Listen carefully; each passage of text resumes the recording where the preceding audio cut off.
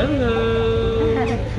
we have the boat like all for ourselves. Only three, five of us here.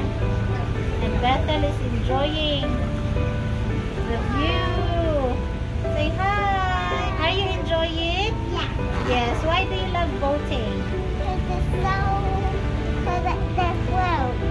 Because? They float. Because they float. so, yeah.